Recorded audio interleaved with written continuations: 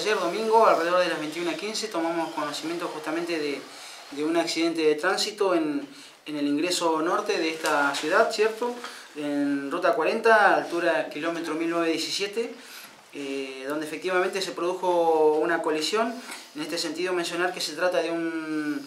vehículo Fiat Palio, eh, el cual era conducido por un joven de 25 años, eh, acompañado por su pareja de, de 21, eh, bueno, lo cual eh, ocasionó, digamos, que en primera instancia colisionara justamente con eh, el guardarrail que se ubica sobre el sector este de, la mencionada ruta. En este sentido, decir que a esta, esta pareja la, atendió personal médico del hospital que se encontraba de, guardia y luego de, de, haberlo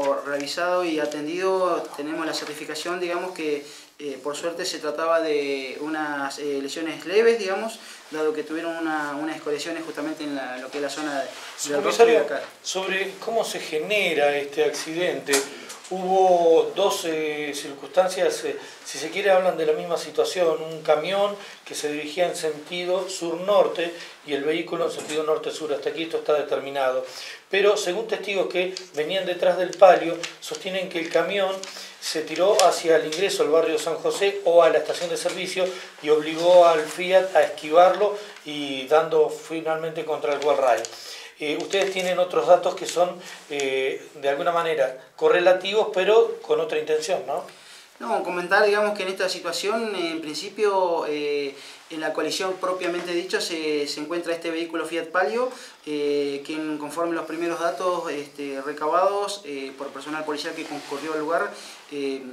perdió el control justamente del mismo eh, y destacar digamos que hasta el momento no tenemos la, el escrito o la denuncia correspondiente por parte de este conductor quien podría dilucidar cómo fueron estas esta situaciones, ¿cierto? Así que bueno, se está trabajando en este sentido, pero como menciono no tenemos la denuncia todavía del conductor del parque. Nosotros estuvimos trabajando anoche en un lugar y graficaba esto también el camionero, que él vio que el Fiat venía descontrolado y para esquivarlo se dio hacia la mano izquierda. No es la primera vez que allí ocurren accidentes, ha habido muchas muertes. En su opinión, y, tratando la temática accidentológica, eh, ¿es necesario ya colocar wall rights para determinar una zona de acceso específica al barrio tanto San José como a la estación de servicios? Así es, justamente como bien decís, en este, este sector justamente que es eh, una zona digamos donde hay una amplia calzada, justamente se producen, han producido distintos accidentes de tránsito, lo cual sería importante poder eh, contar justamente con un guardarrail que delimite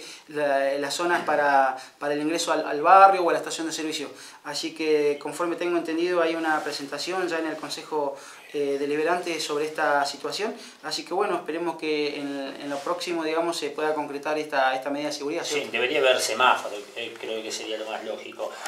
¿Cómo están de salud los dos jóvenes, su comisario? Como mencionaba, y conforme el parte médico extendido por el, hospital local, simplemente recibieron lesiones leves con unas escoriaciones en la zona del rostro nada más.